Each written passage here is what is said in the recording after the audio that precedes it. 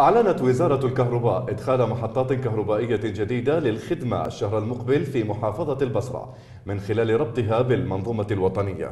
وأكد أعلام الوزارة في بيان له اكتمال مشاريع محطة الرميلة الاستثمارية ونصب محطة ذاتية في محطة البصرة موضحا أن ذلك سيسهم في إحال الاختناقات وتزويد الشبكة الوطنية ب 250 ميجاوات